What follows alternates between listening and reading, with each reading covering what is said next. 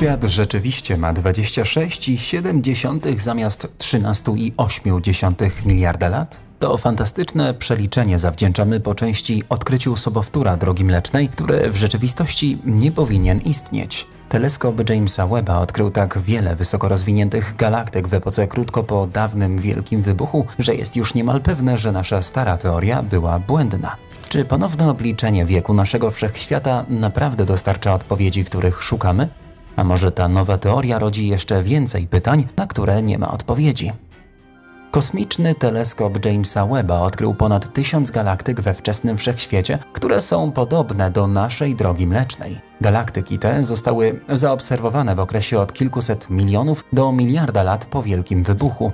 Odkrycie zaprzecza wcześniejszym założeniom, że galaktyki dyskowe były rzadkie lub niemożliwe w tej erze.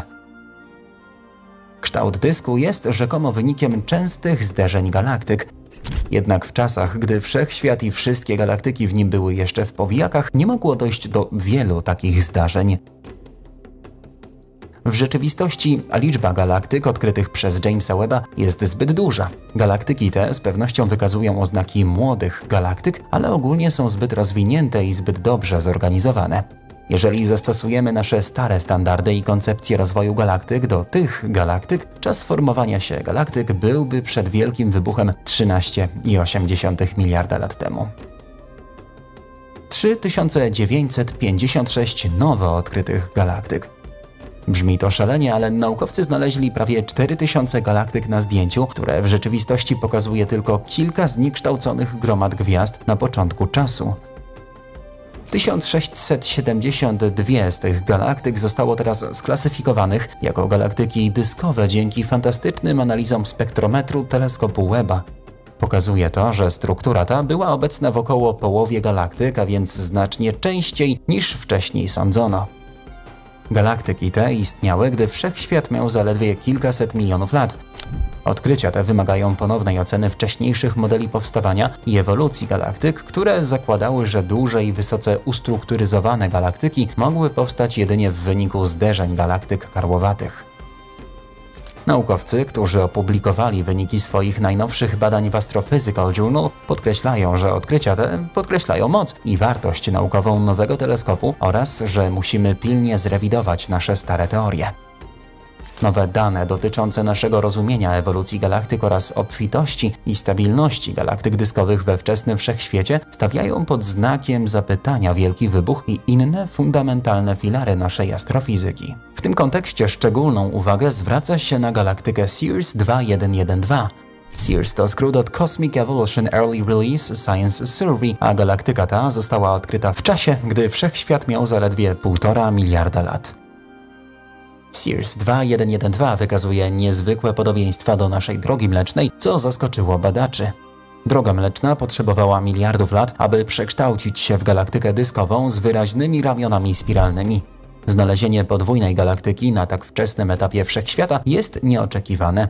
Wcześniejsze teorie zakładały, że galaktyki dyskowe, takie jak Droga Mleczna, powstały znacznie później w historii kosmosu. Odkrycie Sears 2112 podważa te założenia i sugeruje, że takie struktury galaktyczne mogły ewoluować wcześniej i być może szybciej niż wcześniej sądzono.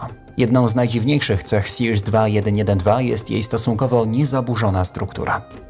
W tak wczesnym wieku kosmicznym galaktyki nadal powinny być zniekształcone i chaotyczne. Niemniej jednak Sears 2112 wykazuje zaskakująco stabilną i dobrze zdefiniowaną strukturę dysku. Rodzi to pytania o to, w jaki sposób galaktyka ta uzyskała swój kształt i jakie wcześniej nieznane warunki we wczesnym wszechświecie sprawiły, że było to możliwe. Jeżeli zastosujemy nasze stare standardy ewolucji galaktyk do Sears 2112, galaktyka ta również uformowałaby się w czasie, gdy wszechświat oficjalnie nie istniał. Przynajmniej nie według naszej starej nauki. Odkrycia te przemawiają językiem, który skłonił niektórych naukowców do ponownego obliczenia wieku naszego wszechświata, a wyniki są zdumiewające. Czy wielki wybuch to prawda, czy kłamstwo? Założę się, że nie wiedziałeś, że od dawna istnieje co najmniej tyle samo dowodów przeciwko wielkiemu wybuchowi, co za nim. Jedynym problemem było to, że niektóre teorie miały długą historię ugruntowania i akceptacji i były niemal uważane za niepodważalne prawdy. W rezultacie niektórzy naukowcy przeoczyli fakt, że istniały inne, alternatywne i równie dobre wyjaśnienia dla wielu zjawisk kosmicznych. Nawet gdy rozbieżności i luki w teoriach i modelach wyjaśniających stawały się coraz większe, naukowcy nie reagowali. Uparcie trzymali się tego, co uważano za prawdę od lat dwudziestych. Po wielkim wybuchu, który miał miejsce około 13,8 miliarda lat temu, wszechświat był początkowo niezwykle gorącą i gęstą mieszaniną protonów, elektronów i innych cząstek elementarnych.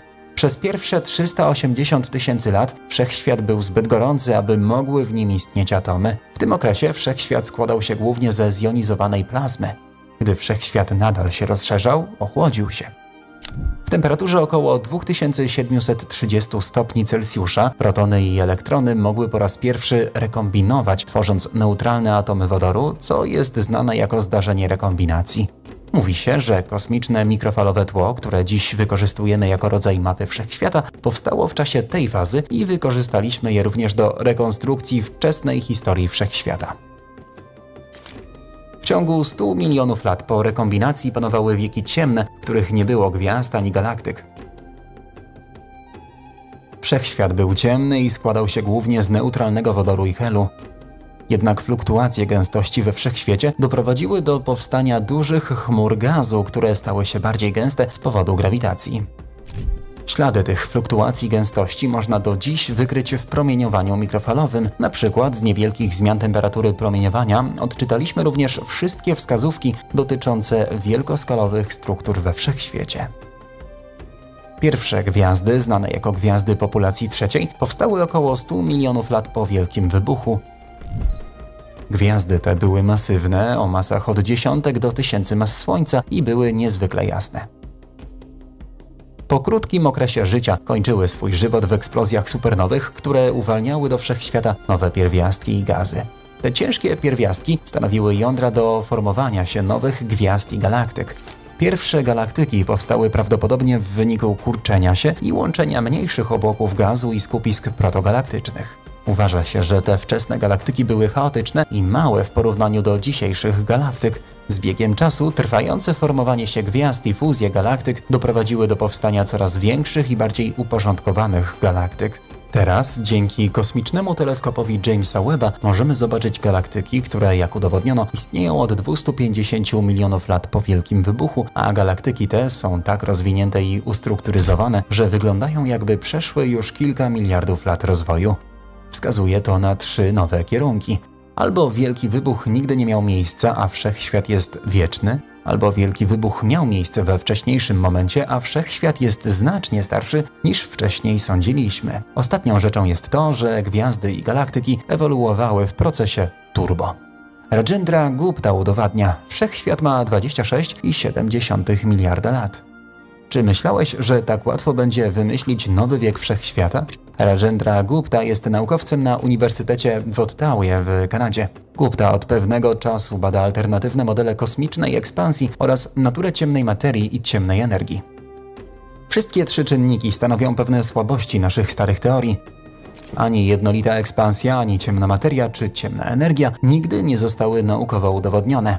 Nie ma więc pewności, że one naprawdę istnieją. Po pierwszych zdjęciach Weba i szokujących odkryciach, Gupta poczuł się wzmocniony w niektórych swoich przemyśleniach. Był jednym z pierwszych naukowców, którzy odważyli się ponownie ocenić wiek wszechświata. Nowe podejście Gupty różni się od tradycyjnych metod opartych na kosmicznym promieniowaniu tła i stałej Hubble'a. Stała Hubble'a jest miarą tempa ekspansji wszechświata, a jej dokładne określenie miało kluczowe znaczenie dla wcześniejszych obliczeń wieku wszechświata. Jednak różne metody pomiarowe dostarczyły różnych wartości stałej Hubble'a, co doprowadziło do tzw. Tak napięcia Hubble'a. Mówiąc prostym językiem, oznacza to, że ekspansja wszechświata nie jest wszędzie taka sama, co powinno być zgodne z teorią wielkiego wybuchu i koncepcjami, że od tego czasu przestrzeń się rozpada. Aby rozwiązać ten problem, Gupta opracował model, który wprowadza alternatywne parametry kosmologiczne i przedstawia efekt ciemnej energii i ciemnej materii w zupełnie nowy sposób. Dzięki tym nowym parametrom może się okazać, że wszechświat rozszerza się znacznie wolniej lub nieliniowo. Wolniejszy model ekspansji oznaczałby, że wszechświat jest znacznie starszy, aby osiągnąć obserwowany stopień ekspansji. Nieregularnie rozszerzający się wszechświat może wskazywać na istnienie nieznanych wcześniej struktur i sił, a nawet na to, że mogło istnieć wiele punktów początkowych. Centralnym elementem teorii Gupty jest modyfikacja ogólnej teorii względności. Jego hipoteza sugeruje, że fizyczne zachowanie ciemnej energii zmieniło się w czasie, co mogłoby wyjaśnić zmianę ekspansji.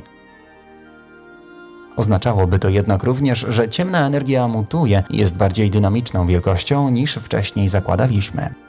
W pierwszym przeliczeniu wszechświata Gupta doszedł do wieku 26,7 miliarda lat.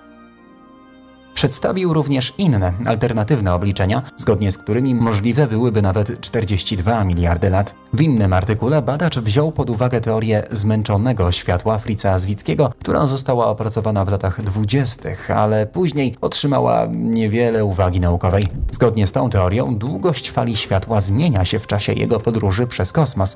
Jeżeli to prawda, wszystkie nasze wcześniejsze obliczenia dotyczące wieku wszechświata i odległości w kosmosie byłyby najprawdopodobniej błędne. Wszechświat, który jest prawie dwa razy starszy niż wcześniej sądzono, z łatwością wyjaśniłby istnienie galaktyk takich jak Sirius 2112 i wszystkich innych wysoko rozwiniętych galaktyk na zdjęciach Weba. Model Gupty mógłby również wyjaśnić, czemu niektóre obserwacje odległych galaktyk i kwazarów są trudne do pogodzenia z obecnym modelem kosmologicznym. Jak dotąd jednak społeczność naukowa miała trudności z zaakceptowaniem ponownych obliczeń Gupty. Większość konserwatywnych gałęzi astrofizyki nadal obstaje przy wielkim wybuchu, który miał miejsce 13,8 miliarda lat temu i preferuje wyjaśnienia, które zakładają, że gwiazdy i galaktyki we wszechświecie uformowały się zupełnie inaczej i znacznie szybciej. Subskrybuj kanał już teraz, bo zawsze pojawiają się nowe, ekscytujące filmy.